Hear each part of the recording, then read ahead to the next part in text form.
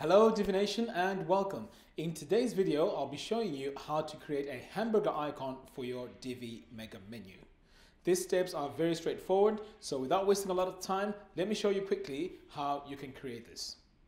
In order for us to achieve this hamburger icon, we'll be using some CSS code and if you'd like to follow along, I'll leave the link in the show notes below. Okay, so I'm over here in my WordPress dashboard. So the first thing you want to do is to come over here to appearance and then go to menus. So you want to create a brand new menu. So I'm going to come over here and click on create new menu. We can call this whatever we like, but I'm just going to call this mega menu and then click on create menu. Right, so now that we've created this mega menu, the next thing we need to do is to make sure that it's selected.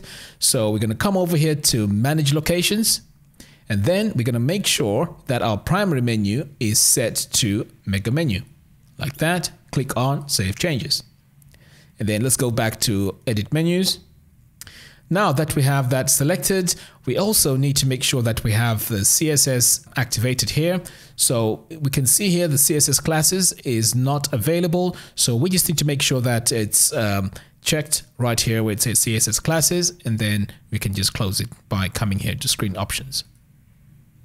So now the next thing we need to do is to create the pages. So there's two ways you can do this. You can use existing pages that you have on your website or you can create custom links. In my case, I'm just going to create custom links. So I'm going to come over here to custom links. The URL, I'm just going to add blank URLs and then I am going to add my link test. So for this one, I'm just going to call this about us, add it to the menu.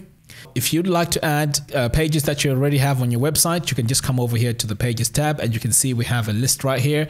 So you can go ahead and add, say for example, this accordion or Ken, Ken slider. You can just click that and then now it's added to the menu. So go ahead, add a few pages. Okay, so I've added all my pages onto my menu.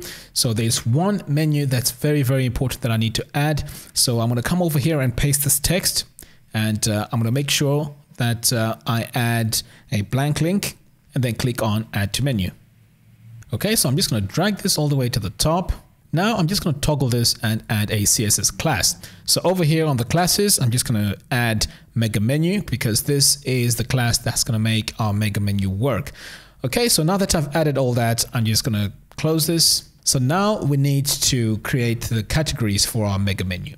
So we're going to start off with about us. So I'm just going to move this slightly to the right and then I'm going to have these four items below it. So it's our team, our mission and company history. Okay. So the next thing we need to do is to make sure that the services, because this is the next category, is in line with the about us. And then like I did before, we just need to make sure that uh, under the services, we have these three items, uh, web design, SEO, web dev. And then here, we're going to do the same with our work. Now, if you drag it too far, it's not a problem. All you need to do is just to drag it back into position. So I'm just going to do this and then I'm going to finally do the contact us like that.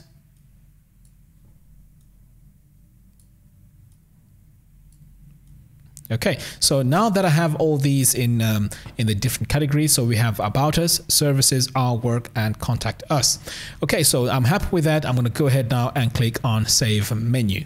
Okay, so let's take a look at our website and see if this mega menu is working. So I'm going to come over here and click on visit site, but I'm going to make sure that I open this in a new tab. Okay, so if I come over here, we can see that our mega menu is working and those are our four categories, the about us, services, our work, and contact us. So the next step now is to add some jQuery on our website. So what we need to do is to come over here to Divi, click on theme options, and then click on integration. Now our jQuery code needs to go into the head section of our website. And uh, this code, as I mentioned earlier on, can be found on our blog, which I'll link in the comments below. Right, so I'm just going to paste my jQuery, click on save changes, so what this jQuery does is it makes our mega menu show when clicking the icon instead of when hovering. So our next step now is to add our CSS. So I'm going to come back here to the general tab, scroll all the way down until I find this custom CSS, expand this so I can see where my last CSS was added. Okay, so making sure that your new CSS starts on a new line, I'm going to hit Command V to paste and then I'm going to click on Save Changes. So now if we come to our website, we can see we have a hamburger icon and if we click on it, our mega menu shows. So if we take a look at our hamburger icon here, we can see that it's gray and it doesn't really stand out on our on our background here at the top. So in the CSS code, it's well structured and also labeled. So you can actually go back in and change this color. So let's go back and let's do that just in case you might have a background that's dark, that's dark. So I'm going to come over here and let's search for that line. Right, so we can see here, change the color, uh, change color of icon here. We can go ahead and change the color here. So I'm going to change this to white and white is FFF FFF. Okay, so let's save changes and refresh and then let's take a look. So now you can see that our menu has now changed to white and if I click on it, it's now uh, working fine. So that's what you can do if the color of your icon does not match your branding. So just go ahead and just make sure that you change it over here where it says color Okay, so there's also one more thing you could do. So let's say you want to add a label to this hamburger icon. What you could actually do is you could come back here to the appearance, menus, and then let's go in and add a label in here. So we're going to call this menu. So I'm just going to type in menu. And by the way, you can add, you know, you can name it whatever you want. I'm going to go ahead and save the menu.